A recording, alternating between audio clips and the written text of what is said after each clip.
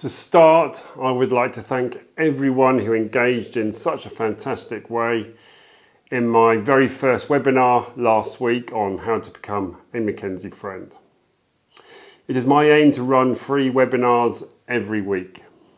The next one will be this Thursday, the 19th of August at 7pm for one hour, when I will be breaking down the family court child arrangements process into one bite-sized chunk. So many people enter the process with their application forms with no understanding of the process that follows. I will be clearly explaining the journey step by step.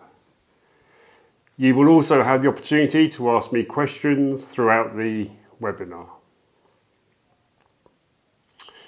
There are limited places available for a small group to join me using the Teams meeting platform.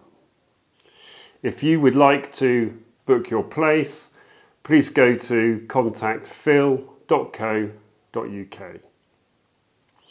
I am Philip Kedge, a retired Police Chief Inspector and Director of the McKenzie Friend UK Network.